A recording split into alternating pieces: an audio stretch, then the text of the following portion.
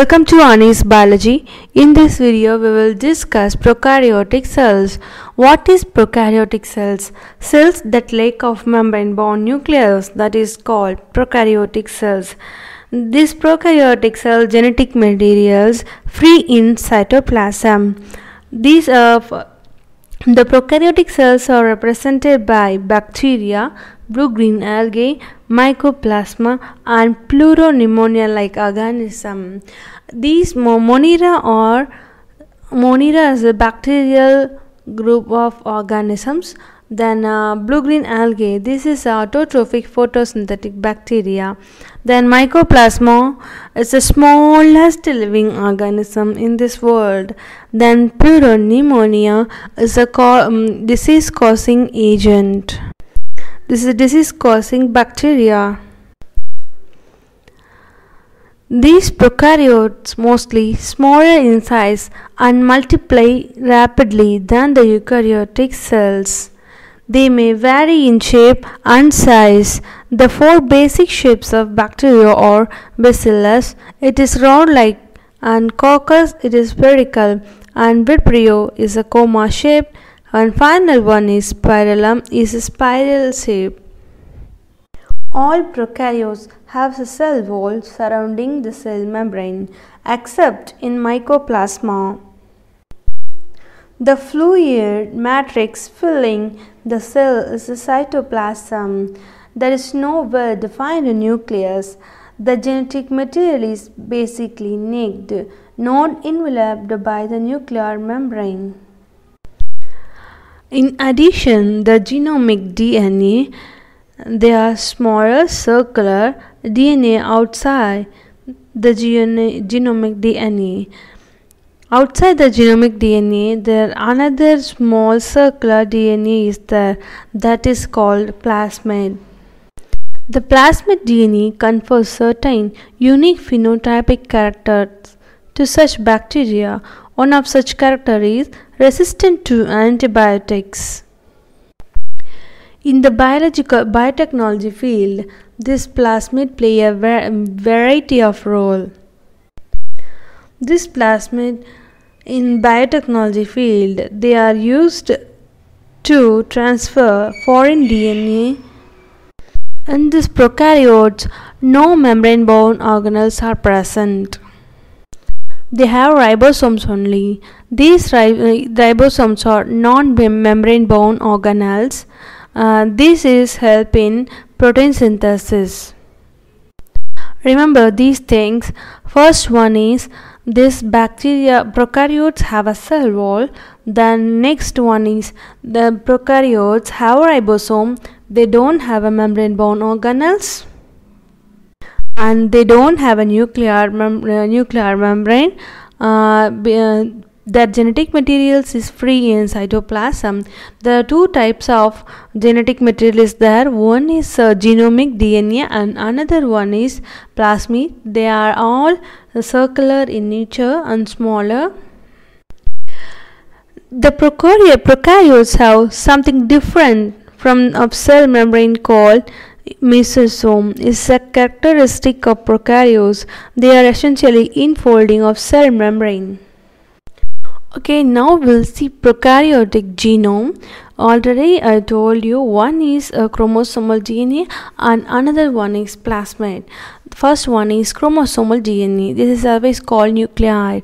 It is circular double-stranded piece of DNA not surrounded by the nuclear membrane.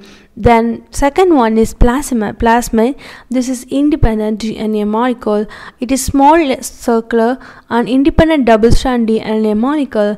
Plasmid can frequently be transmitted from one bacterium to another bacterium.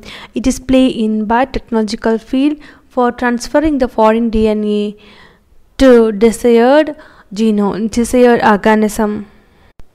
Okay, next we will see prokaryotes have cell envelope and its modification. Most prokaryotic cells, particularly the bacterial cell, have a chemically complex cell envelope. The cell envelope consists of tightly bounded three-layer structure. The outermost layer is glycocalyx.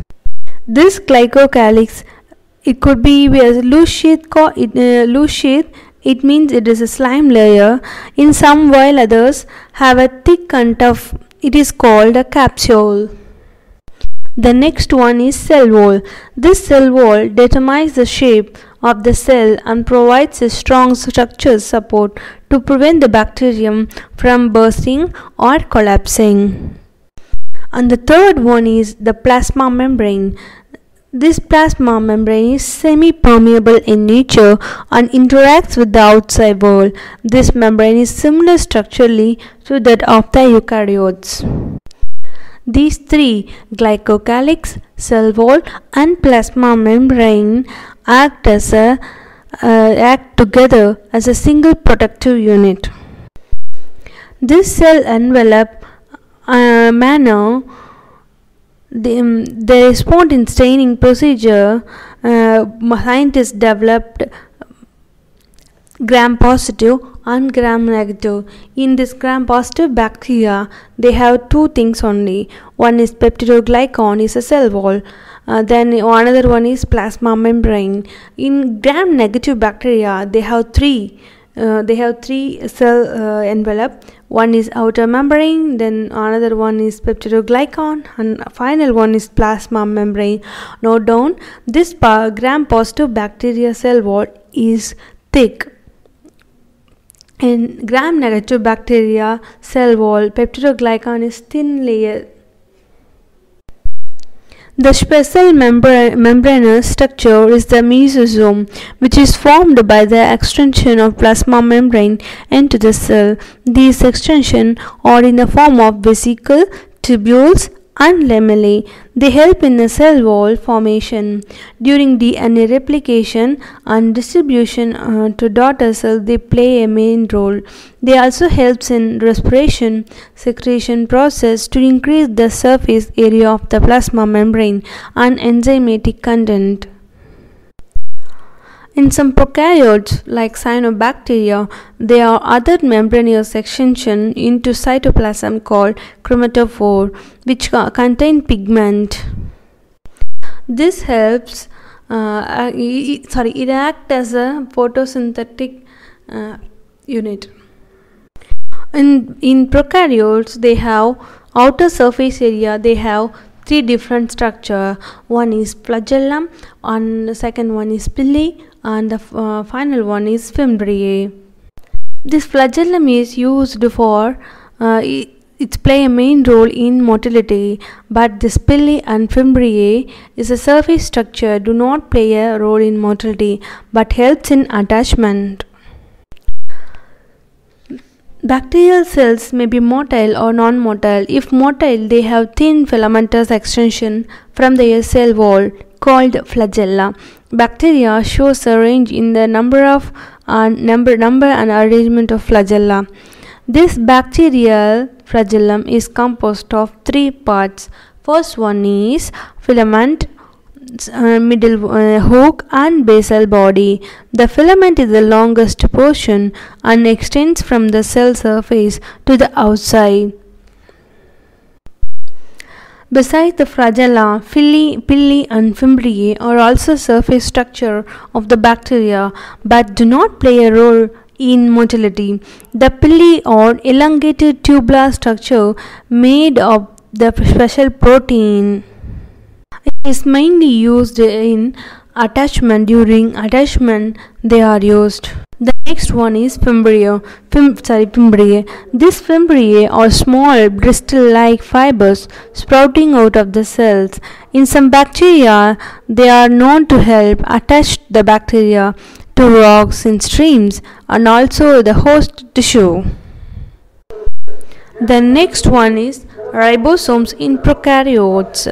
In prokaryotes, ribosomes are associated with the plasma membrane of, of the cells. They are about 15 nanometer in size and are made of two subunits. One is 50. Um, its total uh, sub uh, ribosomes uh, is um, 70 as this is made up of two subunits one is 50s and uh, 30s together form 70s they help in photosynthesis Several ribosomes may attach to a single mRNA and forms a chain called polyribosomes or polysomes. The ribosomes of the polysome translate the mRNA into protein. And the final one is inclusion bodies. These inclusion bodies reserve material in prokaryotic cells or stored in the cytoplasm in the form of inclusion bodies.